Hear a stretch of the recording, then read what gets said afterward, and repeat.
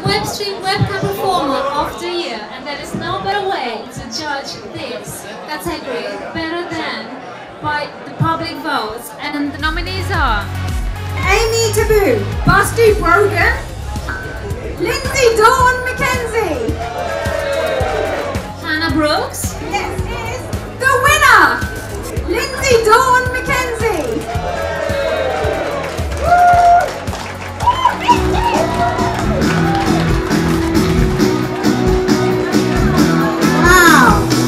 is a big one. And that is my one liner on cam.